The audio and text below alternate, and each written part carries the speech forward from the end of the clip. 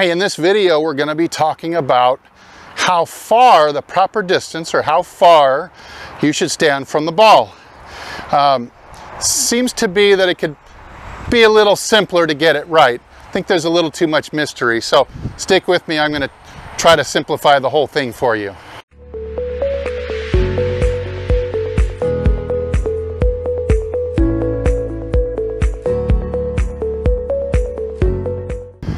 Hey, this is Steve from Hit It Longer. Um, I've got a long club, I've got a short club, and um, today I'm going to try to simplify um, the measurement that's necessary uh, from the handle end of the stick to your body or standing the right distance from the ball.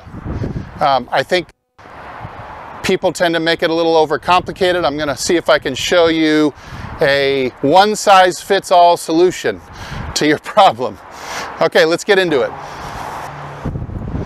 Okay, let's first talk about the the two errors. Of course, there's kind of only two errors you can make when lining up to the ball as far as distance from the ball. That's too close or too far. Let's look at the problems and maybe you can diagnose yourself based on these. I've got my nine iron here. If I were standing too close to the ball like this, and this is only about a fist from my belt. The problem with this would be that I would not have enough room to fit this thigh under the shaft without significantly raising hmm. the shaft and making it more difficult to strike the ball and square up the face. You can see how if I'm really close to it, this thigh won't really be able to, to work underneath because I don't have any room. So that's one error. Uh, not a lot of people fall in this category. More, most people who make this error, error are falling into the too far away category. Now I switched to my driver because most golfers tend to screw this up with the driver more than they do the irons they seem to be kind of okay on the irons when they get the driver out and it's like they want to really extend their arms out there. So they end up standing like this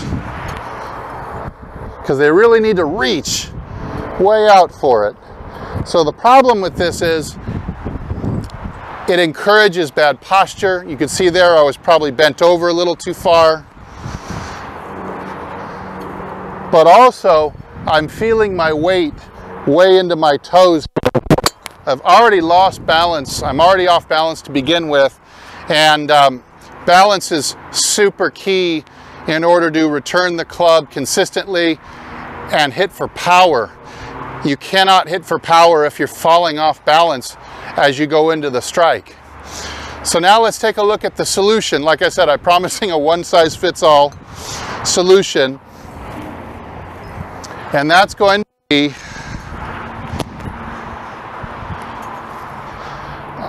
one spread out hand, just like that. From pinky to thumb, even a, a fist and a long thumb would do it too. But just one spread out hand span, you see, will give me what I need.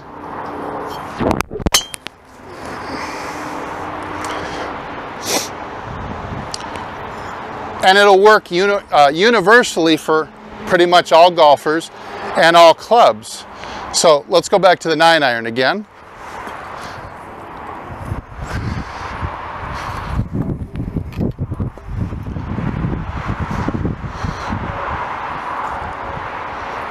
All right, so now we're back to the shorter club. You'll see I'm going to use the same measurement here.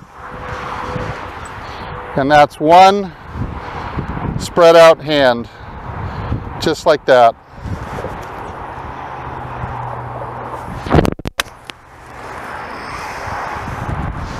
So now we're going to look at the universality of it. The first universal part of it is that taller people tend to have bigger hands, shorter people that tend to have smaller hands. Um, it's not exact in any case, and you might have to make subtle adjustments here and there if your hands are small or, or too big, but pretty much it's universal. also universal as far as one club, um, one stance fits all clubs or all tools. I've set up two golf balls here and you'll see I'm going to be able to walk right into both of them with my body and my arms in exactly the same position. It's like one universal setup. Okay, there's my spread out hand. Nine iron. Notice that the handle of the nine iron is in exactly the same spot. And so if I just wanted to switch, I would just stick my hand on there and it's like it's interchangeable. Okay, the only thing I would do different from the driver to the nine is I would probably narrow up the feet and open up a little bit. So driver a little bit closed, little narrower and open on the nine, but the measurement from the belt to the, this end of the stick is going to stay pretty much the same. So if you were to actually measure that in linear inches, I think for me it's somewhere, oh, it's in the neighborhood of seven to eight inches for me. I'm six foot two. Um, somebody who's five foot six might be more in the five to six inch range. Um, if you're standing at the proper angle bent over, of course. That, um, you've got some other angles that you've got to get right before this starts to make sense. So you'll need to go back and review those things. You could see, for example, if I was standing really tall with no angle, then my arm would tend to be really close and really tall.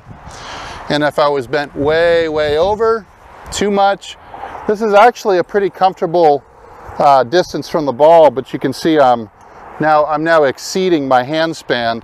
Um, so I might have uh, other types of problems um, striking the ball um, if I was standing too bent over and too far back. So, of course, this is a given. You're going to be bowing at about 30 degrees or so from the hips, not caving in like this, not bending at all or not bending too much. Um, so keep that in mind. It's kind of the good universal measurement for you to use is if you just took your hand and you spread out the fingers like that and you're taking the the pinky and you're going to put it right on just under your belt and you'll just stick your thumb out to the butt of the club like that. So work on that a little bit when you have a chance. Uh, it may be uncomfortable. If you are the person who stands too far from a driver, moving in so if I'm, I'm way back here and I'm one of these people who wants to really reach and extend my arms, okay, moving in back to normal distance again is going to feel incredibly crowded to you. And you will probably hit 30 out of the first 50 maybe way in the shank up here until you get used to swinging a little bit closer. So um, the, the solution, if you're having a hard time adjusting from standing way too far away and you're trying to move in back to the right distance again, here's my, here's my hand spread. I'd put, I wouldn't put, fill it with golf balls, but I'd put an empty basket of right there and just make sure that I don't clip it with the toe of my club going through. So I might just take some you know, take the measurement and then just go ahead and dink the ball and try not to hit the, the empty basket sitting right there. Hey, I hope that this, uh, this tip has been helpful for you. Um, if you have any comments or especially questions about this, um, please leave them in the um, comment section down below.